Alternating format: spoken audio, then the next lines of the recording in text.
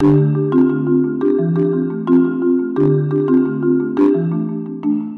this video, I will give you a peek at OmniFocus Pro.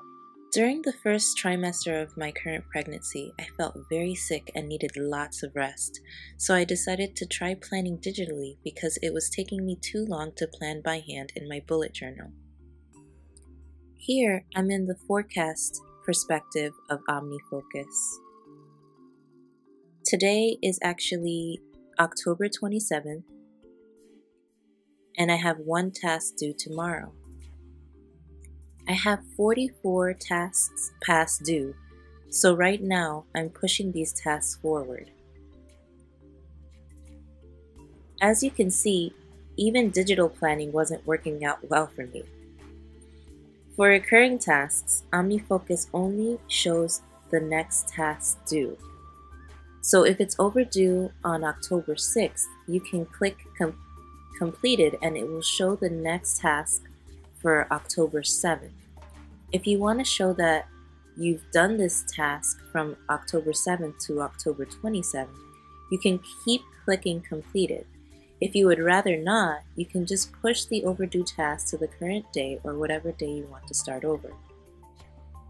Take this exercise task, for example.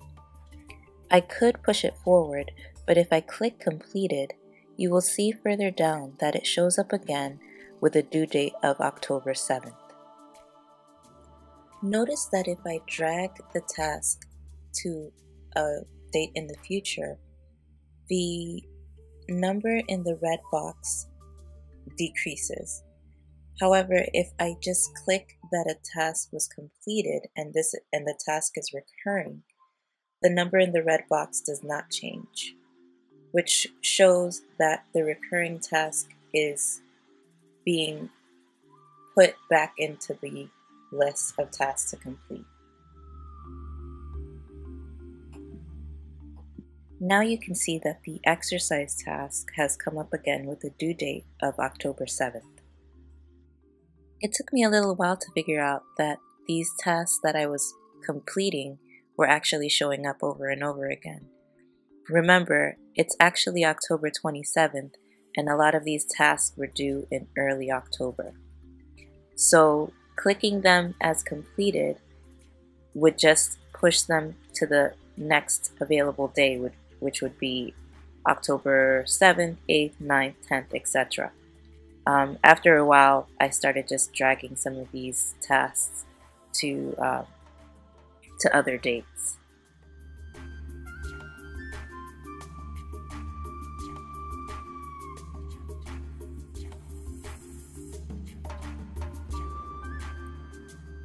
I'm looking at my inbox now and doing a quick brain dump here, which is just a dentist appointment at the moment.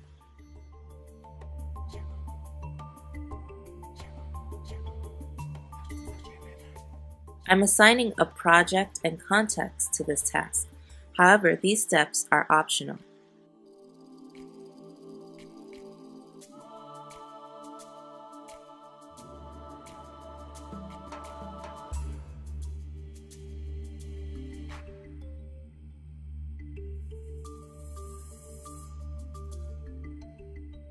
Now I'm assigning a due date.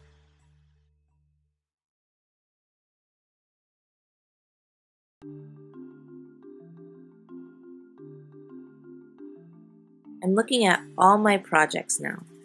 Notice the little icons next to the projects. The parallel lines are for parallel projects, and that means that these projects have tasks that can be done at the same time. The line with the sequential dots are for sequential projects, and these projects have tasks that must be done one after another. Notice here that you can forward emails to OmniFocus in order to place those action-related emails somewhere where you may actually be more prone to completing them. The unconnected dots are for single action lists. And these are a list of tasks that can be done at any time whenever there is time available. Now I'm looking at various contexts I've set up thus far. Notice you can nest these contexts. I didn't have any flag tasks, but they would show up here if I did. Now I'm reviewing all my projects. All this entails is looking at your project's tasks and seeing what's coming up or what's nearly due. You may want to make adjustments here. This is a powerful feature because it gets you to routinely review your projects. You can change how often you want to do this, the default recurring time frame is every week. Given the nature of my projects, which right now is mainly schoolwork, this works out nicely for me.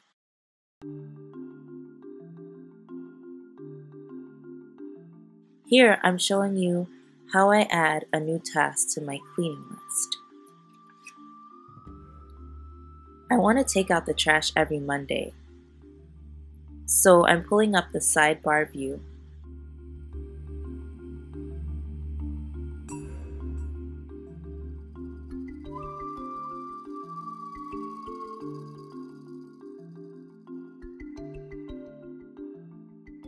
I'm setting up the context here in the sidebar.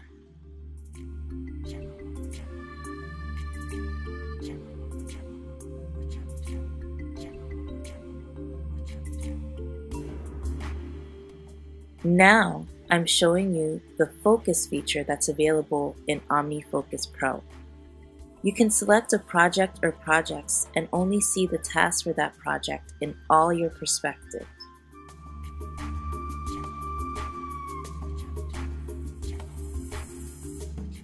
Here I'm selecting multiple projects.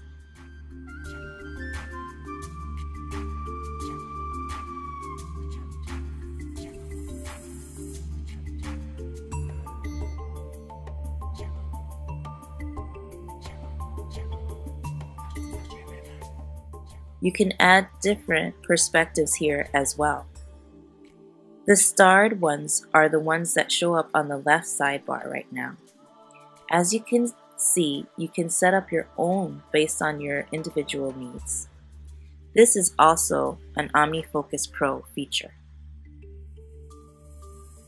I hope this video was helpful to you. Check out OmniFocus's website for more detailed information and demonstration videos. Be sure to leave me any questions or comments. See you in the next video. Bye.